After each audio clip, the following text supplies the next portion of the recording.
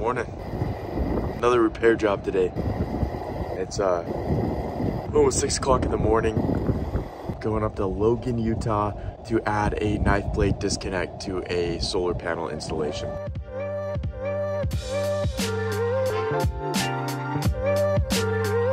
Made it, just drove 100 miles. There's a solar panel system that's already installed and I'm adding a knife blade disconnect. The contractor fought for months about whether they needed a actual knife blade disconnect or whether the combiner panel and the breaker was adequate means of disconnect for the solar panel system. So that's the uh, Enphase combiner where the run comes down, comes across here to the meter and then the inspector drew out where he wants that disconnect. Uh, I'm gonna undo everything, add in the disconnect and then reconnect it all. I'm grabbing all my tools right now, but what I'm really excited about is testing out my Flex drill. I haven't had a real chance to test out the hammer drill feature and to see how we do on brick. So I'm gonna get this ready to go and then throw in some anchors. And really surprised with the turbo mode, the speed, the hammer drill feature, it just busted through that old brick and it was really quick throwing that in. Impact driver, I've been able to use that a lot more and I love it it has a lot of trigger control and a ridiculous amount of power despite the weight. I'd also have to do a shout out to Diamondback. I'm rocking their new pants, testing them out, and they're awesome. Not to mention the whole tool belt setup I got going on, testing out a lot of their different bags and products trying to find the perfect setup for a solar electrician tool belt. I got the disconnect added um, right here next to the meter where the inspector wanted it, exactly how they wanted it. Let me know in the comments how you would have installed this system. I'm curious on what's the best practice would be. In the main panel, you have this breaker that'll disconnect the system. The disconnect I added, that'll disconnect the system. And then you have one breaker for each of the circuits wasn't too bad of a job just take took me a couple hours to get it done i have mixed feelings about the situation because i feel like it's completely unnecessary personally to have this on this install. It's less than 10,000 watts.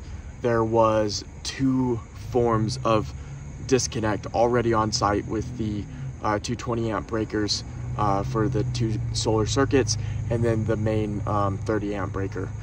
So it's a little bit redundant because now we have three different means of disconnect within 10 feet of the main panel.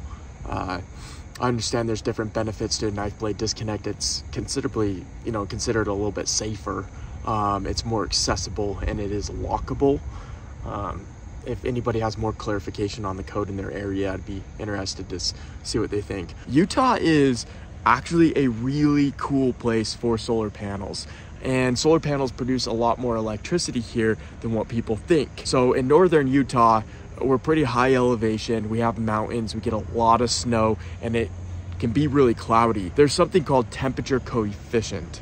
That is uh, the thermal properties of a solar panel. You'll see it listed on all solar panel spec sheets, but that is a measurement of how much efficiency is lost in a solar panel as the temperature increases. It actually can work in a way that as the temperature decreases, the solar panel will actually get more efficient. A solar panel is tested for their standard test conditions um, where they have a certain angle modification, a certain uh, air mass ratio, um, 1000 watts per meter square, all, all the different flash testing variables are put together and the solar panels tested. Well, as the temperature gets hotter or colder, it changes how efficient that solar panel is. So we have these days that are short, they're really cold, they can be cloudy, but when the sun does come out, these solar panels produce a lot of electricity.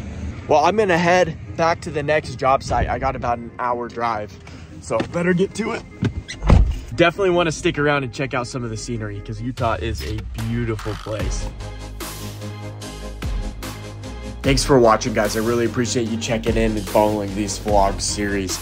I'm really excited and optimistic that we'll see the standardization of the solar industry, where there's a set way to do something that has been proven and works to make everybody's job easier.